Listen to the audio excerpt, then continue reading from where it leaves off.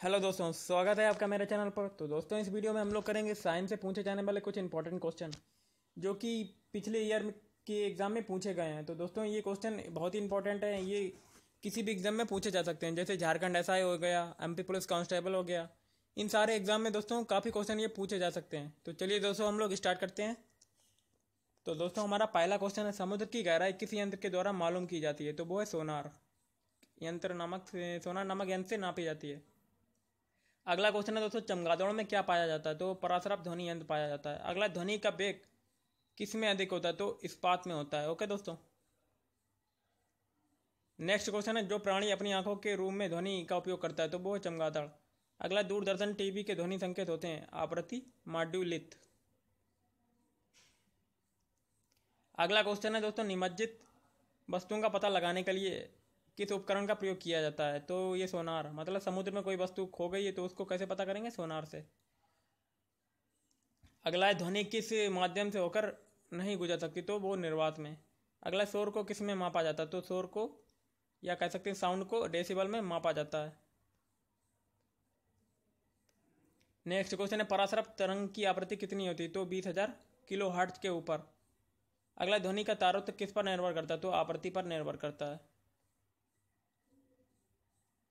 अगला क्वेश्चन है। अगला क्वेश्चन दोस्तों है शिकार पर बच्चियों या बाधाओं का पता लगाने के लिए। तो दोस्तों अथवा डॉल्फिन किस परिघटना का प्रयोग करता है? तो प्रतिध्वनि निर्धारण का प्रयोग करता है। अगला ध्वनि की न्यूनतम तीव्रता जो एक सामान्य मानव कान पहचान सकता है तो व्यक्त की, जाती है दस डेसिबल के रूप में। अगला दोस्तों है, शीतकाल में हैंडपंप का पानी गर्म होता है, क्योंकि पृथ्वी के भीतर तापमान, वायुमंडल के तापमान से अधिक होता है। अगला ध्वनि तरंग का सबसे अधिकतम वेग किसमें होता है? तो ठोस में। अगला क्वेश्चन है 2000 हर्ट्ज से दो, बीस हज़ार हर्ट्ज की आवृत्ति वाली ध्वनि को क्या कहते हैं? श्रव्य तरंग सब ध्वनिया कहते हैं। अगला मनुष्य की, मनुष्य को ध्वनि कंपन की अनुभूति किस आवृत्ति सीमा में होती है? तो बीस से बीस हज़ार हर्ट्ज तक। नेक्स्ट क्वेश्चन है दोस्तों, मनुष्य की ध्वनि की सामान्य एवं अधिकतम सही सहिष्णुता सीमा होती है सत्तर से पचासी डेसिबल तक। अगला, कंपनशील रज्जु के व्यवहार का अध्ययन करने के लिए किस उपकरण का प्रयोग किया जाता है? तो सोनोमीटर। नेक्स्ट है दोस्तों क्वेश्चन भारत में स्वीकार ध्वनि प्रदूषण स्तर की सीमा है चालीस से पैंतालीस डेसीबल के बीच।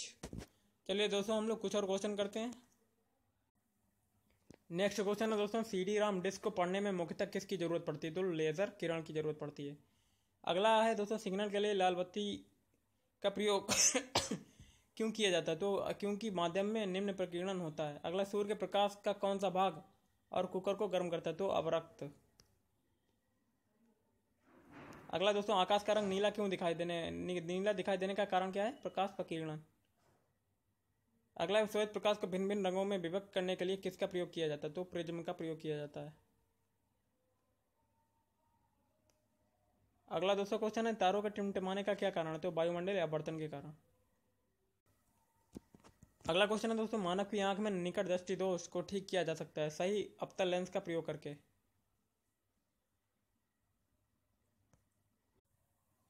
अगला क्वेश्चन है दोस्तों, प्रकाश के परिक्षेपण का अध्ययन करने के लिए किस उपकरण का प्रयोग किया जाता है? तो स्पेक्ट्रोमीटर।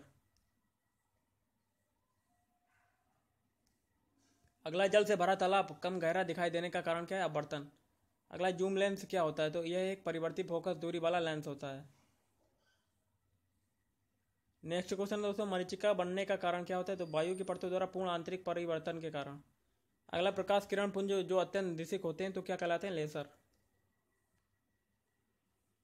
अगला परावर्तित प्रकाश में ऊर्जा आपतन कोण पर निर्भर नहीं करती। है अगला पारदर्शी जल के भीतर पड़ी हुई किसी मछली को दूर से शूट करना कठिन है, इसका कारण है अवर्तन।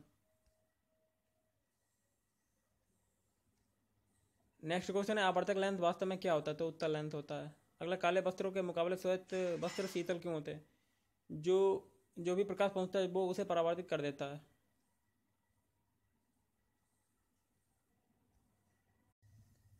अगला क्वेश्चन है दोस्तों फोटोग्राफी में मुख्य रंग होते हैं।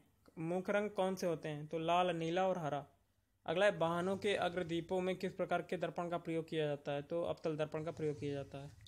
तो दोस्तों, अगर आपको ये वीडियो अच्छा लगे तो प्लीज़ हमारे चैनल को सब्सक्राइब करें। इस वीडियो को लाइक और शेयर ज़रूर करें, अगर आपको पसंद आए। तो दोस्तों, अगले वीडियो में हम लोग कुछ और क्वेश्चन करेंगे जो कि किसी भी एग्ज़ाम के लिए इंपॉर्टेंट होंगे।